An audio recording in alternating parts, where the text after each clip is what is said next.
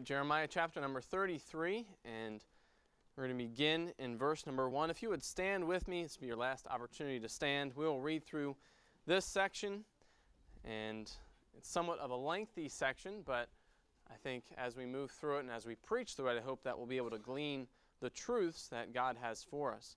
It begins in verse number 1. It says, Moreover, the word of the Lord came unto Jeremiah the second time while he was yet shut up in the court of the prison, saying, Thus saith the Lord, the maker thereof, the Lord that formed it, to establish it, the Lord is his name. Call unto me, and I will answer thee, and show thee great and mighty things which thou knowest not. For thus saith the Lord, the God of Israel, concerning the houses of this city, and concerning the houses of the kings of Judah, which are thrown down by the mounts and by the sword. They, that is, the people of Jerusalem, they come to fight with the Chaldeans, but it is to fill them with the dead bodies of men. In other words, they're not going to have the victory. Whom I have slain in mine anger and in my fury, and for all whose wickedness I have hid my face from this city, that is Jerusalem. Behold, I will bring it health and cure. Sounds like a completely different scenario that he's talking about. I will bring it health and cure, and I will cure them, and will reveal unto them the abundance of peace and truth. And I will cause the captivity of Judah and the captivity of Israel to return, and will build them as at the first. And I will cleanse them from all their iniquity whereby they have sinned against me. And I will pardon all their iniquities whereby they have sinned, and whereby they have transgressed against me. And it shall be to me a name of joy, a praise, and an honor before all the nations of the earth which shall hear all the good that I do unto them, and they shall fear and tremble for all the goodness and for all the prosperity that I procure unto it.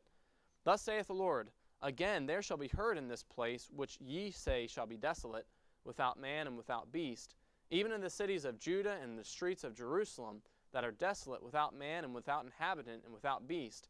He's saying, This is what you'll hear in verse 11 the voice of joy and the voice of gladness, the voice of the bridegroom and the voice of the bride, the voice of them that shall say, Praise the Lord of hosts, for the Lord is good, for his mercy endureth forever. And of them that shall bring the sacrifice of praise into the house of the Lord. For I will cause to return the captivity of the land, as at the first, saith the Lord.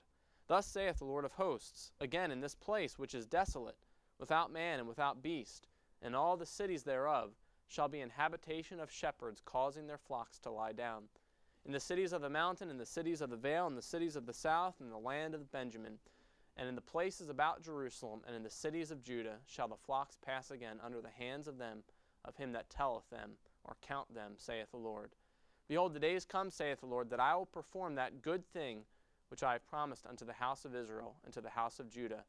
In those days, and at that time will I cause the branch of righteousness to grow up unto David, and he shall execute judgment and righteousness in the land. In those days shall Judah be saved, and Jerusalem shall dwell safely. This is the name whereof she shall be called the Lord our righteousness. For thus saith the Lord David shall never want or shall never lack a man to sit upon the throne of the house of Israel Neither shall the priests, the Levites, want or lack a man before me to offer burnt offerings and to kindle meat offerings and to do sacrifice continually. Father, we ask that you take the word of God and that you would challenge us with what you have for us. Help us to recognize your eternal, overarching plan for your glory. And Lord, that we have a part in that. And we thank you for the opportunity that we have to come to know you.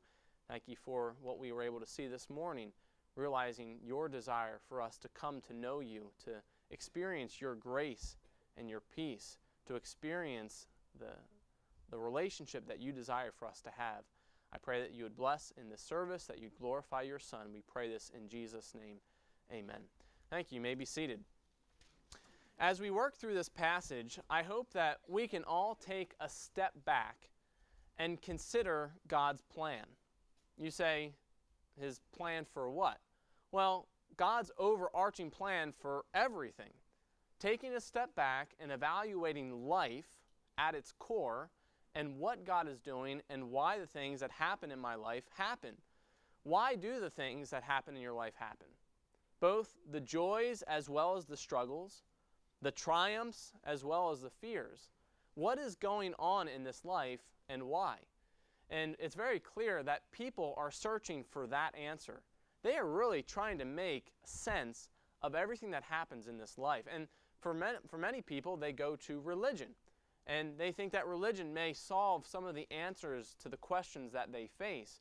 But religion, in and of itself, continues to fall short. And there are many questions that people face and wrestle with, and they wonder the whys of life. Why do bad things happen? Why do bad things happen in my life? Why do bad things happen in people that I love in their lives? Why are the things that are happening in life happening? The answer that we are looking for is often the reassurance that everything is going to be all right.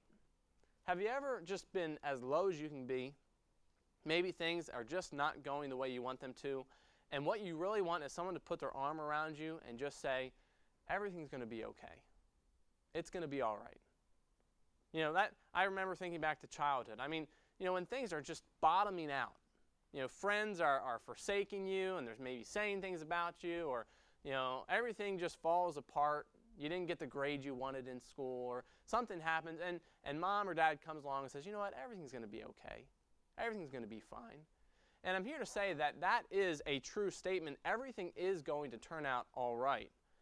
But I'm here to say, even though that's true, it may be for a different reason from what you would think or what you would expect. It is going to turn out all right, but the reason that it's going to turn out all right may be different from how we logically would think of it and what we would think all right means. So I know that's a little confusing, but we will understand it hopefully as we move through the message. As we consider these questions of why these things happen in life, let's get into our passages this evening. And the first thing we see is Jeremiah is in a major is in major turmoil or in a major predicament.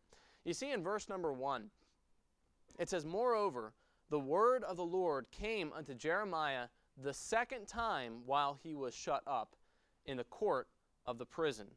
God speaks to Jeremiah while he is in the court of the prison, and this is the second time that God is coming to him and speaking to him while he is in this prison.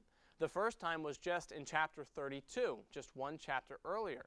And in verses 1 and 2, God comes and speaks to Jeremiah while he is shut up, while he is enclosed in the court of this prison. Now, Jeremiah would face worse situations in the near future. You all remember that there was a time when Jeremiah was let down into a pit. This was not just the prison, but in the prison there was a pit and he was let down into this dungeon or this pit and, and the mire came up to his knees and, and he was there for a long period of time and eventually they, they draw him out of it i mean that, that's a pretty rough situation. So jeremiah at this point although he's not as low as he could go he's still in prison. He's still not able to get out and to go about as he would wish. He would face worse situations but understand even so this is not the best of times for jeremiah. It's not a party, it's not a picnic. But even in the midst of trouble, God comes to Jeremiah and he makes a promise to Jeremiah. And what's interesting about God's promise to Jeremiah and what's interesting about what God says to Jeremiah is that God does not dwell on Jeremiah's trouble. Does that surprise you? If I were serving God, and I am right now, but if I were serving God like Jeremiah in his day and I got put into prison, and God comes and talks to me. And of course, we're in a different dispensation, and so we don't hear God audibly speaking to us. But, but let's say we're transported back, and I'm Jeremiah, and I'm preaching God's word. They throw me into prison, and God comes and talks to me. You know what I want to hear God say to me?